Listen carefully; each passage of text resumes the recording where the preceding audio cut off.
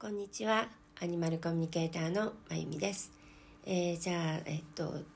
カムの続きシリーズ3になるのかな？えーっと えっとアロハと、えーフータのことについて話をしたいと思います。ちょっとずっと続けて喋ってるからか喉がちょっと枯れちゃいましたけどもえーっとフータはどういう感じかっていうとそうやってあの食うみたいにそーっと噛むとかそういうのは全くやらないですね。であんまりガブってすることもフータは一番少ないかな。その爪切りで例えばクーがガブってするとかいうのもあるんですけどフータちゃんはそれはしないしフータはどんな時にするかな。本当にあんまりガブってはしないかな。パッと出てこないぐらいえっとそうですね。あのただ、えっと、ブラッシングをしてる時に、えっと、逆にブラッシング好きなんですよ。で気持ちいいとそのガブって噛もうとします。でまあでもそれ痛いって言ったりあのパッと避けるとやめるんだけど、まあ、噛むタイミングわかるからね。でそれは何かなと思うとねあれにあれと同じみたいですあのうちアロハが来た時にえっとまあちっちゃかったのですぐにもちろん避妊手術はできなくてで、えっと、フータもクーももちろん、えっと、虚勢してるんですけどもでもやっぱ本能っていうのはあるみたいでアロハが女の子だったのもあってえっとねクーはそうでもだからこれも性格によるのかなそうでもなかったんだけどフータはなんかものすごい発情してしまったんですね。でその時にまあアロハ自体もえっとねあの小さすぎて避妊はまだできないしそんな発情することはないって獣医さんに連れて行ってもね言われるんだけどちょっとアロハにもスイッチが入っちゃったんですよ。だから余計そうなってでその時にやっぱこう真似事をするじゃないですか。であの多分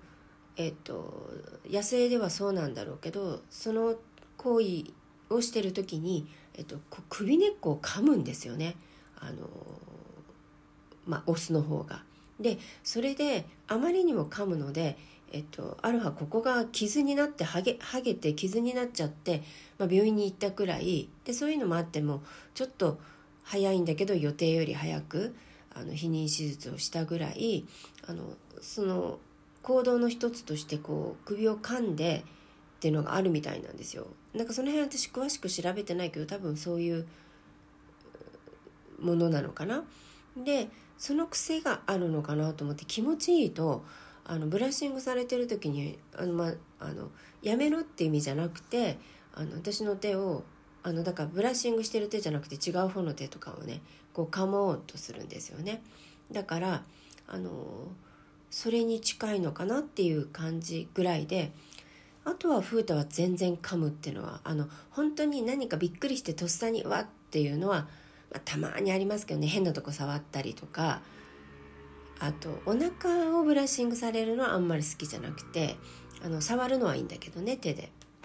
その時にはちょっとそのブラッシングしてる手をガブって噛み噛む。まあ噛む甘噛みにも噛もうとするぐらいなんですけどね。でたまに当たることはあるけどその程度でほとんど噛むということを彼はしないですね。ただ彼は加減ってのがあんまりないからその結構痛いんですよね。そのブラッシングの時に噛まれるやつもね。であのそのさっきアロハのねここに傷ができたっていうからまあアロハがもう子猫で小さすぎてこう何皮膚も薄いっていうのもあったかもしれないけど結構力がその力は噛む力は強いんですよ。あんま加減してない感じなので。なのでまあそういうのがフータですね。でもめったにないって感じかな。だから自分の要求とかを言いたくて食うみたいにガブッとかあとこれやめろって感じでガブってするのはあんまりない。でじゃあ、えっと、アロハはどうかっていうとアロハもほぼないんですけどたまにあのガブってやろうとする時があってでそれはうんまあでも彼女は顔も体も小さくて歯も小さいからほとんど痛い。でもただ尖ってるのね小さいからね。あのそれがちょっと痛ってなるのはあるけどあんまり本当にガブってされたことはないんだけど彼女の場合本当にまずものすごいあのなんていうかな小心者なんです。ビビリなんです。なのでびっくりするとやっぱかぶってこう出そうになる時があるのでなので、えっと、なるべくびっくりさせないようにはしてるんですね。だから急に触ったりするとやっぱなりそうになるのでこうそーっと触ったりあのもともと触ることも結構時間かかったんです。2年ぐらいねなかなか触らせてはくれるんだけどすぐ嫌がるとかあとやっぱ今でもそうだけど急に触ったりするとビクッとするのであの噛まなくてもね。なのでとにかく最初ゆっくり触って触るよっていう時もあるしであ大丈夫だなと思うと触るみたいな感じ。でもねあんまりやりすぎると彼女はやっぱそこが好きじゃないのかあんまり調子に乗ってやってるとガブってする時もあります。で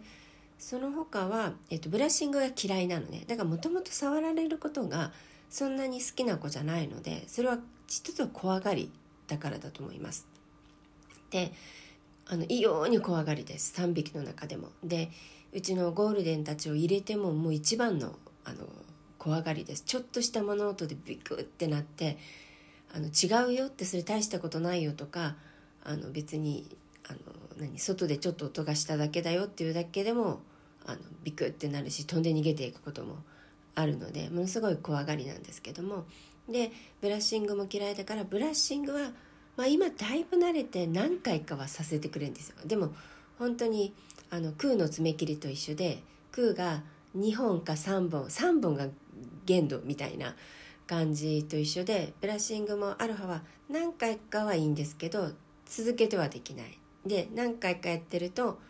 あのガブってそのブラシブラシを噛もうとします。だからまあそういう時かな。だからすごい嫌っていう時にやっぱり噛むかな。っていうぐらいで。であのそれこそ甘噛みとあの食うみたいにそーっと噛むとかあのなんていうのかな。えっと何かちょっとこっちの何テンション？あのを引くために何かするっていうのは全くないですね。もう反射的に噛むことしかアロハはしないですね。でそうだね。あとでもえっとやっぱりちょっと反射的にパッと噛んで痛いって言った時に食うと一緒でちょっと緩める。で軽く噛むっていうのは彼女も何回かやったことあります。まあもともとあんまり噛まれたことないのであれですけどだからそこはこっちが痛いって言ったのは分かるんだなっていう感じです。あのちゃんと緩めます。なのでそこも一緒かな。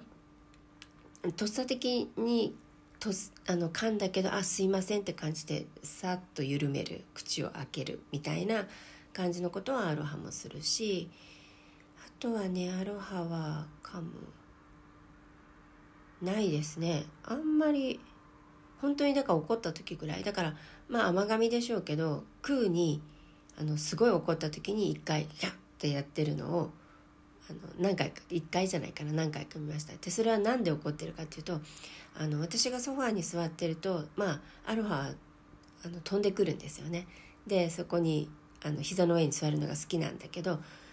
ちょいちょい空がそれを邪魔するんですよ。空も好きなのでガンって上がってきてで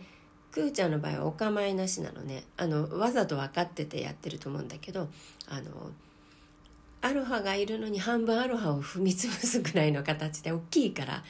アロハがもうほんと23キロぐらいしかないのにクー9キロあるんですよ。それがアロハちゃんに半分乗っかかる感じでドーンと乗ってくるんですね。そうするとやっぱアロハもすっごい怒るし痛いから怒るでしょ？であといつもそのやり方をしてあの無理やり入ってくる。